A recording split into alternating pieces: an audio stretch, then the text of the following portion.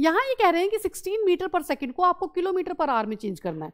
तो हमें ये तो सिंपल सी बात पता है कि वन किलोमीटर में क्या होते हैं? थाउज़ेंड मीटर है ना? तो वन मीटर को अगर आपको किलोमीटर में चेंज करना तो आप क्या करेंगे? वन बाय थाउज़ेंड किलोमीटर हो जाएगा ओके इसी तरह से आपको ये भी पता है कि वन आवर का में को अगर सेकंड में कन्वर्ट करना तो हम सिक्सटी इंटू सिक्सटी कर देते हैं। तो ये सेकंड में कन्वर्ट हो जाता है। और सेम इसी तरह से अगर आपको वन सेकंड को आर में चेंज करना तो आप क्या करेंगे? One by sixty into sixty hour हो जाएगा, ओके? अब आपको ये पता है कि sixteen meter by per second आपको ये इस तरीके से दिया हुआ है।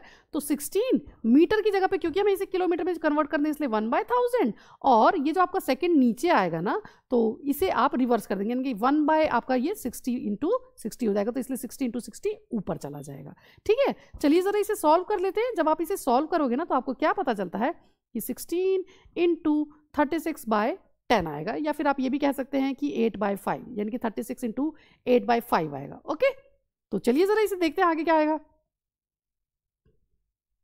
Two eight eight by five, आप इसे आगे अगर इसे सॉल्व करोगे तो आएगा फाइव फाइव से ट्वेंटी फाइव और फाइव, सेवन से thirty five, three by five kilometer per hour, और अगर आपको इसको पॉइंट में निकालना है तो ये आएगा fifty seven point six kilometer per hour. This is the answer